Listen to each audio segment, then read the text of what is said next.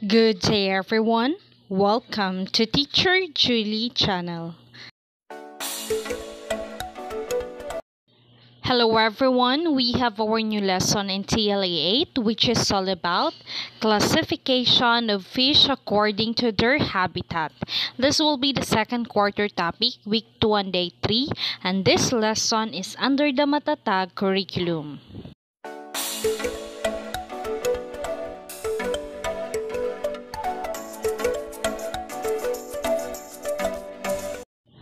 For the objectives, by the end of the lesson, 80% of the learners will be able to. First is to identify examples of fish that inhabit each of the three main habitat types such as the marine, freshwater, and brackish.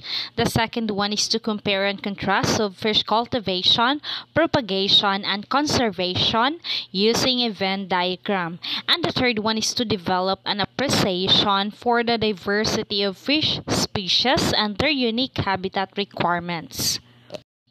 The following are the classification of fish according to their habitat. So the first one is the marine or the open sea fishes. So marine or seawater fishes are those that primarily inhabit oceans and seas with high salinity levels. Examples are tuna, salmon, flounder, mackerel, swordfish, and sardines.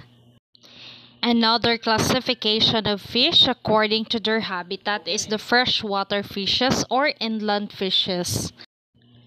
These fish species primarily inhabit the rivers, lakes, ponds, and streams with low salinity level. Examples include the bass, catfish, and carp. Another classification of fish according to their habitat is the brackish water fishes or the estuarine fish.